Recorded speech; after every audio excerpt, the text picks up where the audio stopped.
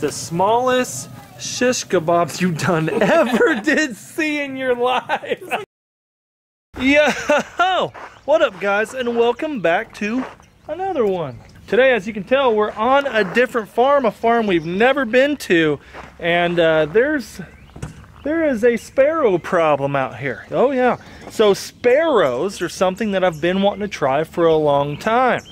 Sparrows. Yeah, a lot of you are probably like, what the heck, Bobby? Sparrows, is that even legal? English house sparrows are the legal ones to shoot, and that's what are in abundance here. A lot of them reside here in Kansas. There's a bunch. Kind of, it's basically just like starlings. They're invasive, so the federal government goes, okay, just shoot them if you need to. And that's Lots of them. and there's lots of them, just like starlings. There's lots Oh, of them. Most of you already know Jordan. No introduction needed. This is this guy. And look what's on his head. What do you got there, bud? It's a little GoPro. Why are you filming?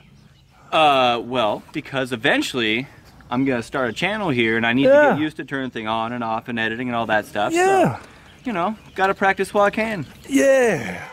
But real quick before we show you around the farm and get into this here sparrow hunt adventure, I gotta tell you the Bobby Guy Films merch is up. I don't even have it yet. I've just ordered it and it's on its way. But it is up and available and I am giving away a two-day waterfowl hunt here in central Kansas. All you gotta do is purchase a piece, one, one t-shirt, one hoodie, one something from the Bobby Guy Films merch. The link will be at the top of the description down below. Go buy something. Yeah, just go. go. I might even be able to sweet talk my way into going with you guys. Yeah, that I was gonna ask you. Not that you. guys would want me along, but I might show up anyway. I was gonna say, are you gonna be there, dude? Are you? It, I'm gonna try. yeah, on the hunt giveaway, Jordan will be there as well. I'm gonna do my best anyway. You know how much fun we have Oh yeah.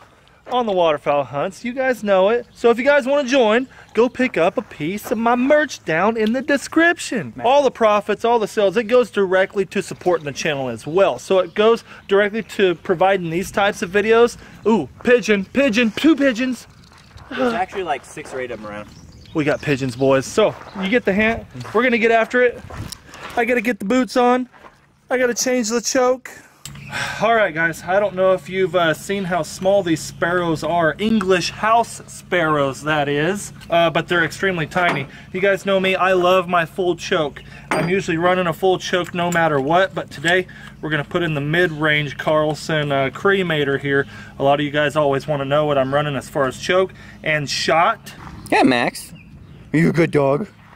Yeah, you're a good. Come here. Come here. Come here. Mm, good boy.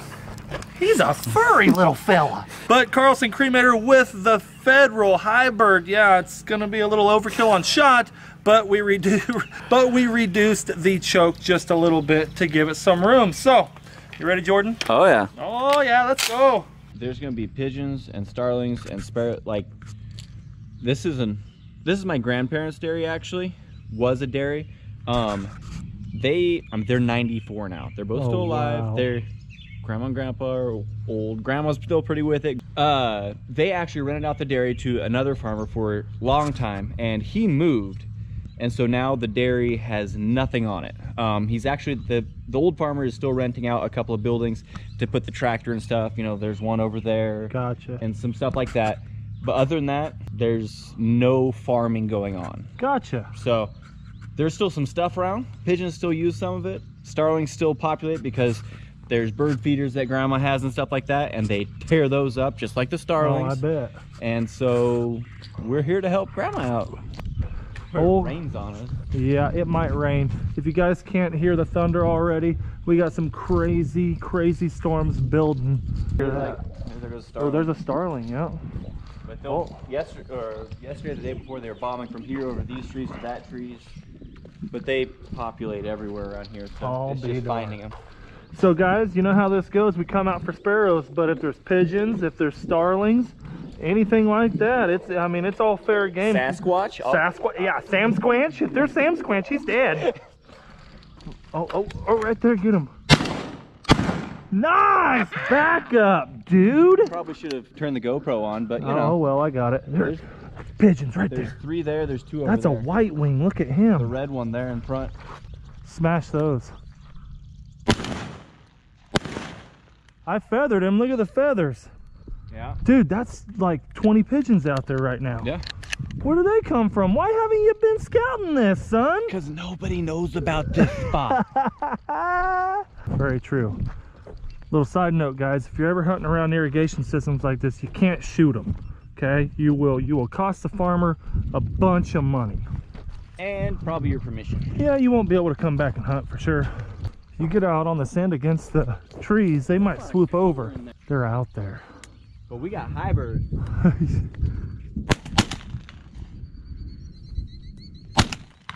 Oh, miss, a big miss. We should have left in the full chokes. Yep. Oh, that is right. It chokes. We changed chokes, dude. Oh boy, that storm baby over there. that storm is building. This is a sparrow hunt and we're gonna shoot some sparrows. You better bet your bottom dollar. But uh he didn't know that the pigeon like this were even out here, so you know us. If there's pigeon, we're after him Gonna eat his lunch, Bob? I'll try.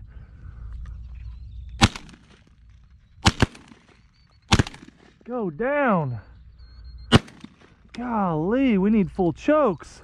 Definitely should have left the fulls in. That was not the move. Stuff up. Yeah, I should. That's every time I do that. Every time I switch chokes, every single time that I think I have a reason, I always regret it. Oh yeah, good idea. Let's get up underneath here real quick. Yeah. It's gonna get bad out. Might have to set up a tent and just camp for a while. I have a feeling we're gonna be stuck underneath this shed for a little bit. You know when you're comfortable with your setup and it, you might have a 40 yard shot, but I can tell you, I had at least probably two shots. Jordan had at least three shots. That was, uh, it was just that shot where you're like, absolutely, it's gonna connect. That bird is gonna go down hard. And it didn't happen. So I'd say five or six shots total between the both of us. We were just like, why why didn't that happen and then once we were done having all of our fun and the and the pigeons decided to leave us i was like dude we shouldn't have changed our chokes um, and jordan was like yep that's that's that is the reason why them birds didn't go down um, again they were probably 40 45 35 yard shots but you guys have seen our pigeon hunts. We smash at 30 and 40 yards all day every day. Just to keep the same setup something you're used to something you're absolutely used to because the main thing guys is knowing your lead on a bird. On any bird is knowing your lead what works for your setup. So oh get him starling no oh he's dead he, He- went he went down in there. he went down that boy right there is dead yes, and I was about ready to be mad at my choke again. I was like, what? Okay, okay. Like Should've brought a- some camp chairs. And just yeah we, we here. do we need some lounge chairs out here some yard chairs Could have built ourselves a little campfire and clean that. I already ate starling once, Yeah, we already ate twice, starling. Yeah. three times. Mm. How many times have we eaten starling? Mm, too many times. Yeah. We just ate starling on uh, another video that I'm sure you guys have already seen. There goes the starling that you missed. Starlings are not good to eat. They're invasive, so you shoot them because they're invasive, and they are pests. But ooh, to But eat. they make good cat food. yeah. I take them to the farm cats all the time, like at the dairy. If I'm hunting by myself, because Bob had better things to do than come out and hunt with me. so, um, but a lot of times there's normally about eight, ten farm cats hang out in front. Take them up there, throw them to them. They're happy about it. The Boom. cats get fed. I don't have to eat it. So Oh, yeah. it's great. Oh yeah. What's that? Starling? starling. That's definitely a starling. we both pull up and we're like, who's gonna fire first? Who's gonna fire first? I was like, man, that is. he was out there. I gotta reorganize this whole choke business and start thinking like it said the 30 yards. Yeah. 30 yards. 30 yards is the distance. If you're going to be shooting Yeah. past 30, you better have your full choke Oh. in. Oh man, the rain's really starting to come down, but luckily we got this big old pole shed to stay under. Uh-oh. Hi, girls. Hi. Hi, girl. Hi. Hi, girl. Hi. Oh, there's a sweet girl. You a sweet girl? I'm assuming you're a girl. Yep, you're definitely a girl. Woo, look at the rain coming down. Oh my. The sparrows are coming underneath here for shelter. A little bit ago, two of them flew in here. There's one, there goes one, two, right Oh, yep, yep. I'm sure when it starts raining like this, They all come underneath here. You could tear them up with a BB gun. Go camp in a barn, hide in a corner somewhere. Oh Go yeah. Get it. Damn. Oh, he's going down. He's down. That's that's that's another starling to the list right there. Let me get my words. I'm going that that that that. First time we pulled the trigger. Oh, sparrow. Oh. Oh, he's down. I got I got an eye on him. Okay. It's still raining. Oh, you're going barefoot, dog. I got an eye on him right there. Who needs Fred when we got Jordan? You guys have been asking for Fred to come on the videos. Guys, we're still in the middle of teaching Fred how to do the basics. Basics. Oh, we got Pidge. We got Pidge. Come on over. Here we go. We got Pidge. We got Pidge. Did he not go down? That was a high shot, but I figured I had him. We still need to go get the full chokes, dude. Oh, it's raining out. You what you got there? This here is a little male English house sparrow. Look at that little English house sparrow. That is a male. Yep. Behavior. males- That, that's what you say. I he's teaching me here. It's a boy. Um, but they have this black throat patch that comes down onto the chest. And they have, I mean, they're really cool. It's dark on top, this nice chestnut brown color, the little light underneath. oh yeah. Um, the females are really like a light brownish color and they have a lot of stripes and stuff. Hopefully we'll get one. Right. With the rain, who knows? But yeah, that there. They are pretty. So I'm learning how to identify sparrows in flight, and that's just a thing. One way I identify birds, a lot of you guys have asked, Bobby, how do you identify the different species of birds? Just like Jordan, the the first thing you look for is the wing beat. The wing beat tells you everything. It's almost like every different species of bird flies in its own way. It's its own way. So a sparrow, how they fly is when they do bat their wings, it's extremely fast. It's almost like brr, brr, brr, and they fly like this. Every time they flap, it's just really, really, really fast. Yeah, I know. Flappy my Bird, yeah, that- almost as- my sound effects are only so good.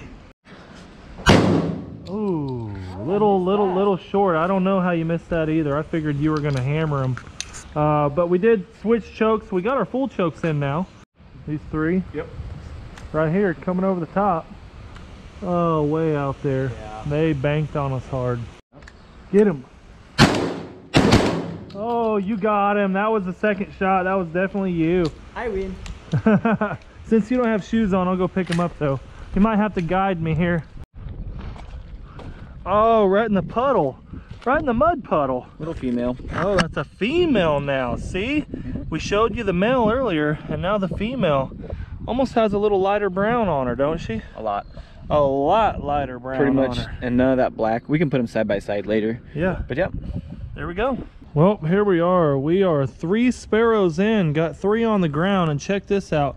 This is a male Mhm. and a female. A little bit of size difference, a lot of color difference. I think this one's a young female though.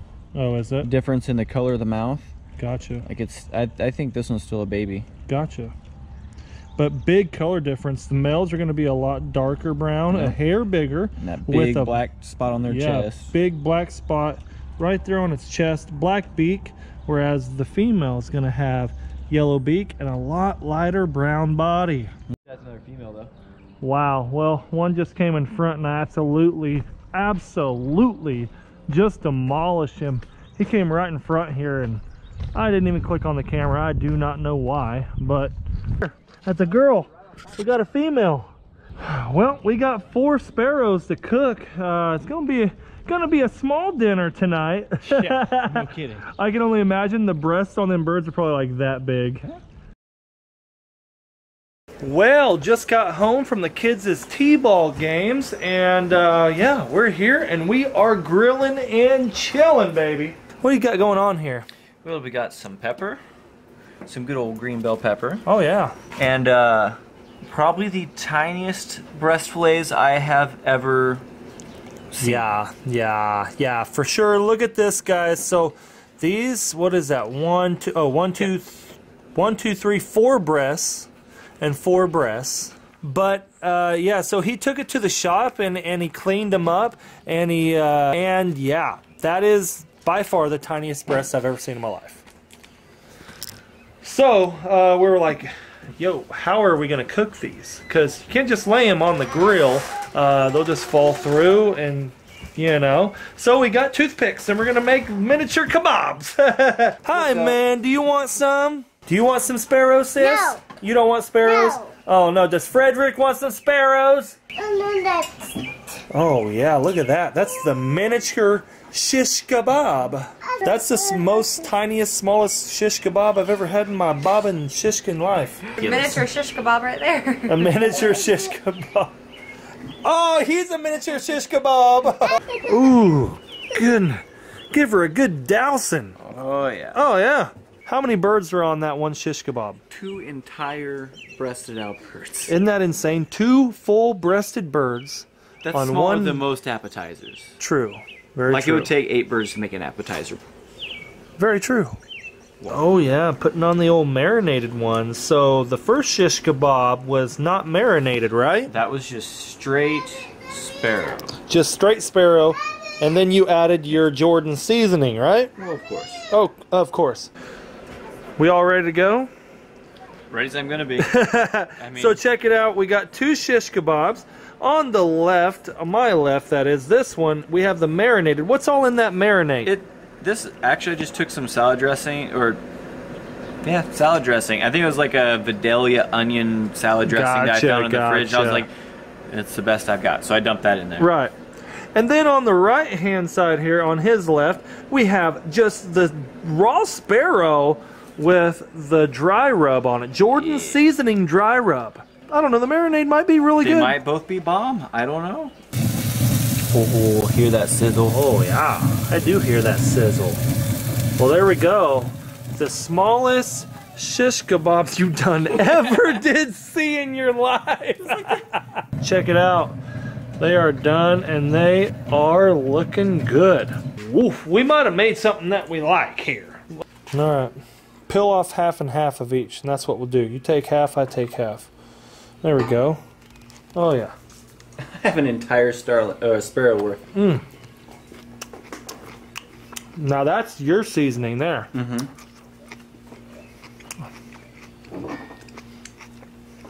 Oh my. I would eat that again. Oh my. I would. I could eat. I could eat 20 kebabs. I, that size. When you pull that bell pepper off Yeah. with it, that is that's so good. That's legit. Kebabs. I think starling might be edible if you were to take a starling breast, cut it in half, do the same thing with it with bell pepper and starling. I think it almost do the same deal. All I got to say is that pepper, that bell pepper, up against there, I think it does a lot. Honestly, But the texture's different too. Like they're really soft. those are really good. They're- All right, here's our second one. We're going to take half and half of it. This is the marinade, the dressing that that Jordan used. Uh, so the last one was the dry rub. This is this is the dressing. Mm, you can taste the difference right off the get go. oh yeah. a Lot sweeter. Your marinade really masked that one over. Mm-hmm. It's like a salad in your mouth rather than a I like the- seasoned piece of meat. I like the first one better though. Yeah, yep. I think yep. the marinade was just too much. Marinade was too much. The seasoned meat was perfect. Perfect. It's like that, that was like having a ribeye in your mouth along with a good old chunk of pepper. I mean, essentially. I mean, you know. Wow. Well, we are both shocked. Much better than we figured. I have to say so myself. Uh, the deal is, is that was two full birds. That was two. Wait, that was four birds. That was four birds. That was four birds. That was a bird a bite. Yeah, we both And ate they a were not big bird. bites. That was a bird a and a bite. bite, yeah. With So we both ate two birds there apiece. We both ate. we, we both just ate two birds apiece. So uh, I will say sparrows are amazing if you did them how we did them tonight. I'd say you will in fact have a great, great, great little luncheon or dinner. The only thing is, if you're wanting to fill your belly, you better kill about 50 of them bad boys to even make a dent in your gut especially for splitting it with another full-grown man. Thank you guys for being here. I'm glad y'all stuck around to, for the uh, the whole cooking session of this. Make sure you check out the Bobby Guy Films merch if you want to get in on the free two-day hunt giveaway. I guess it's not free. You do have to purchase a uh, t-shirt to enter the giveaway, but you get my drift. We will see you on the next one. Have a good one, y'all.